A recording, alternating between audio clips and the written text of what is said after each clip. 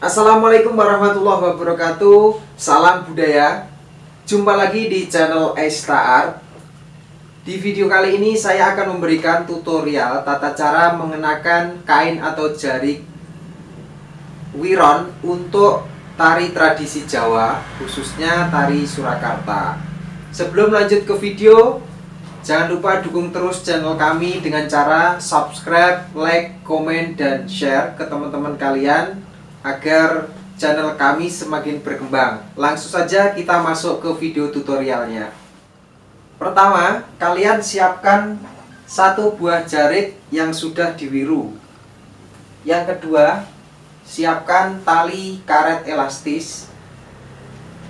Kemudian yang ketiga, kalian siapkan tali ini istilah Jawanya cancut. Kemudian yang keempat, stagen atau kendit. Sebelum memakai jari, teman-teman siapkan cancut tadi untuk diselipkan di bagian samping ini. Ini. Kemudian kita ambil jarik yang sudah diwiru atau kain yang sudah diwiru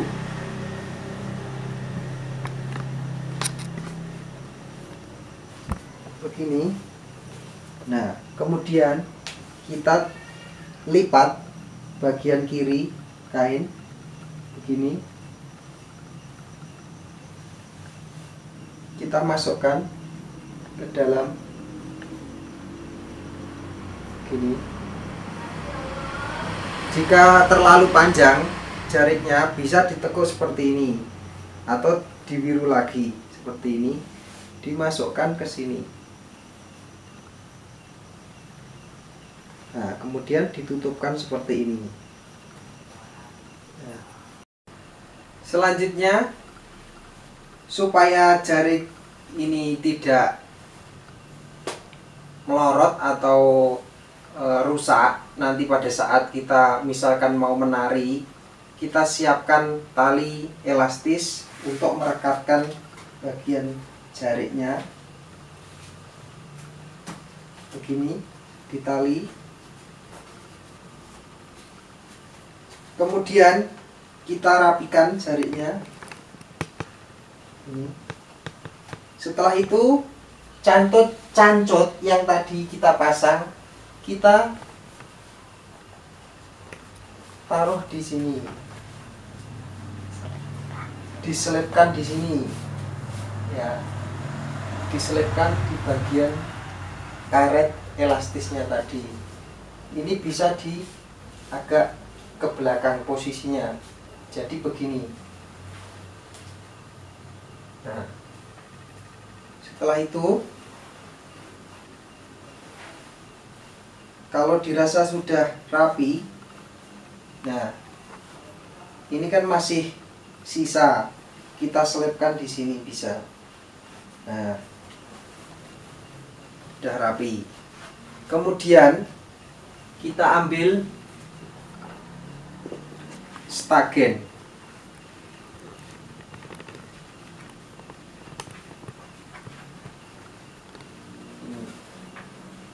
Pemakaian stagen dimulai dari bawah. Ini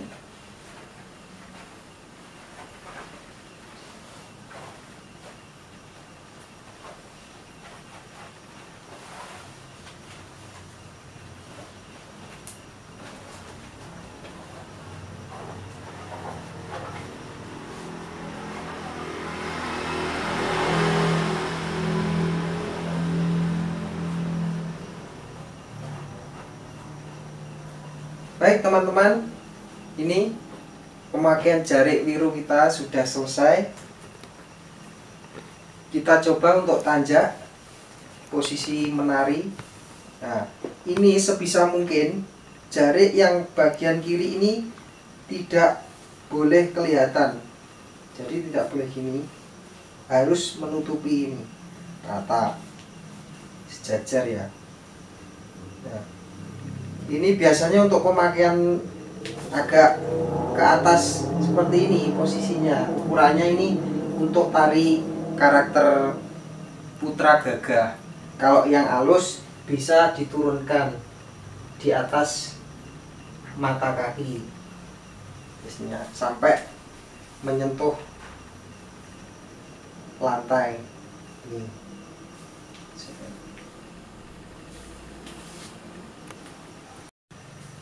Yang saya contohkan tadi itu merupakan salah satu jarik yang digunakan untuk tari putra. Jadi wirunya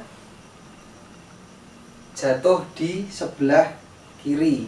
Untuk karakter putri, wiru jatuh di sebelah kanan. Jadi teman-teman harus bisa membedakan. Selanjutnya, dalam tradisi Jawa, untuk pemakaian jarik atau kain lereng seperti ini, ini diharuskan atau wajib lereng ini dari kanan menuju ke samping bawah ke kiri. Jadi kalau misalkan lerengnya dari kiri atas menuju ke bawah kanan itu salah. Jadi yang benar seperti ini. Itu khusus pemakaian jarik lereng.